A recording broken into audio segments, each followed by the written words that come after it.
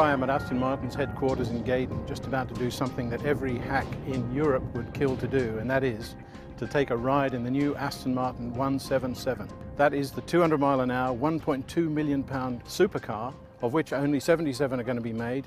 Nobody's driven it yet. I'm about to ride in it. It's a little bit exclusive to drive just yet, but it's going to be demonstrated to me by somebody very special, Chris Porritt, who is the chief engineer of the program, a man that spends half his life racing Aston Martins and has just been doing exactly that in Daytona. Chris, what can I expect from this car?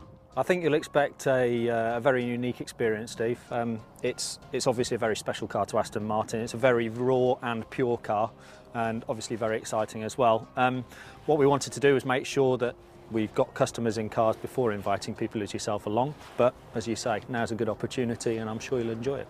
Thank you very much. It's a pleasure.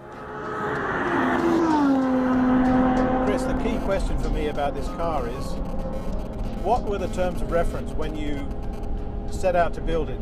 Clearly, you had a range of Astons that we all understand, but this is something special.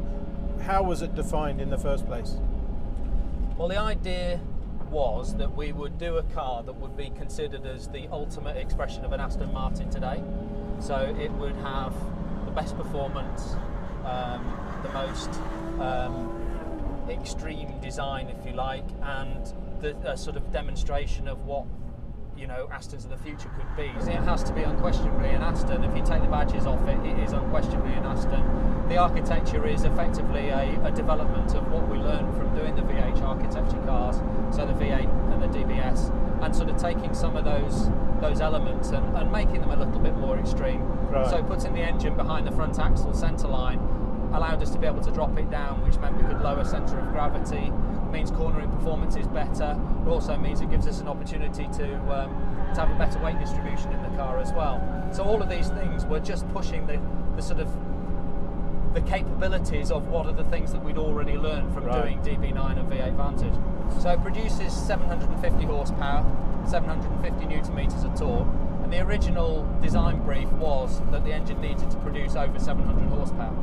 Um, and it was interesting when we ran the first engine on the dyno. I remember calling Dr. Bez and saying, Dr. Bez, right, we've got 717 horsepower. And he turned back to me and he said, uh, now your target is 750. so we went back to the, the guys in the design team and said, you know, what do you reckon? And they said, you know what, I don't think we'll be too far off with that. So they, they did a little bit more work, did some analysis, and, uh, and proved that we could get to 750. And not only is the car much more powerful than any other Aston. It's also lighter, I believe. It is, yeah. With, so with using the carbon fibre structure and using um, new materials to Aston Martin in some of the areas, so the magnesium torque tube, uh, using some clever integration of some of the systems on the car. So we looked at the uh, engine intake coming through the structure of the car. That allows us to be able to save quite a bit of mass. I see. And this, the interior has has Aston Martin overtones the, the exaggerated uh, center stack and so forth on the instrument panel, but the but it is completely unique in this you know, unique in this car. Absolutely, it? yes. I mean, again, it's using the sort of design language that we have from our other cars and making it a little bit more extreme, or certainly in the in the case of the waterfall feature in the in the middle, making it completely different to look at, but very pure and elegant, and it sort of gives this sweeping, fast yeah. look to the interior of the car as well. And I gather every single little piece of uh, metal or decor, the metal is all metal, and some of the, even the this surface of the uh, console that I'm looking at is um, is is a piece of aluminium machine from solid. Yes, it is. Yeah, Amazing. so you can imagine this centre part here, which is probably best part of a metre and a half long, is machined from one big billet of aluminium. Amazing. It's nice for customers to come and look at the car and actually see some of the attention to detail that's gone into the machining and the engineering under the skin. Yeah. And, you know, it's, it's also obviously a pleasure to show people as such as yourself. Tell me about the gearbox. There's um, you, it's uh, clearly a paddle shifted. It's rear mounted six speed, but it's not a twin clutch gearbox. No, it's a single clutch gearbox, and a lot of that is down to a, a dual clutch transmission tends to be quite large and um, and fairly heavy. Um, the other thing, obviously, in the timescale that we had for this program, to engineer that into our products was going to be a, uh, a stretch too far. So what we did was we used the development of the uh, six-speed transmission that, that started life in DB9 as manual gearbox, and then later in life went into V8 Vantage as a uh, auto shift. We call it sport shift manual. So this is a development again of that system.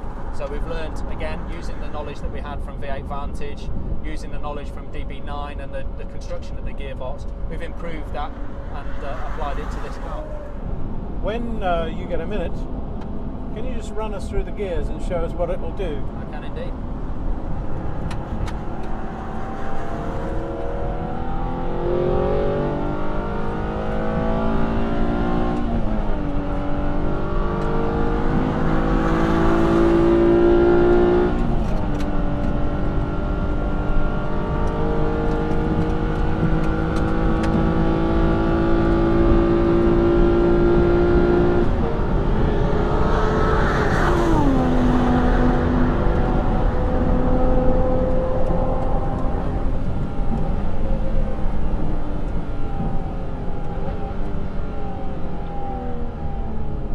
So about 180. Yep. That's the first time in my life I think I've been through a corner at 160. Felt good though. It felt good. Very stable platform. Yeah. I've never been in a car where the last shift into top has happened at 180. That is quick. It's quite exciting, isn't it? But also, you just suddenly see what what you're asking of a chassis when it has to cope with 700 horsepower. It's, you think about, and this this is one of the areas where we looked at, do we make, do we try and make a car that is the quickest car that you can possibly make? And I think you end up with too much of a compromise.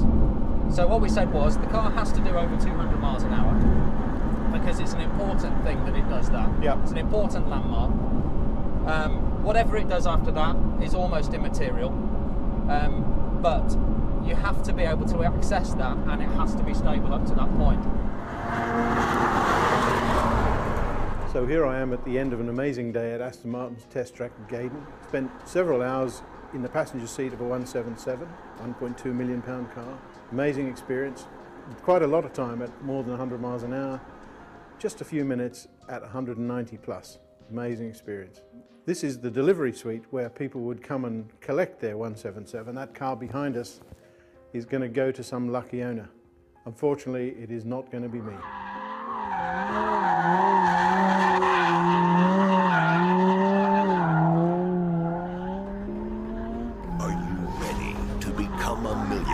What's the number that you actually really dream of earning? David Bach, nine time New York Times best-selling author and financial guru, If you save 20% of your income, you will be really rich. has a plan 50,000 a year, 100,000 a year, 200,000 a year. that could make you Are you in favor of that? Absolutely. an automatic millionaire.